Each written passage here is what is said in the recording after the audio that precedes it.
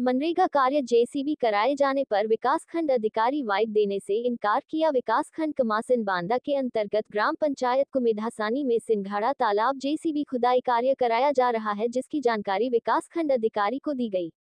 मगर प्रकाश प्रसाद विकासखंड अधिकारी ने वाइट देने से इनकार कर दिया, जिससे प्रमाणित होता है कि इनका भी श्रेय चल रहा है।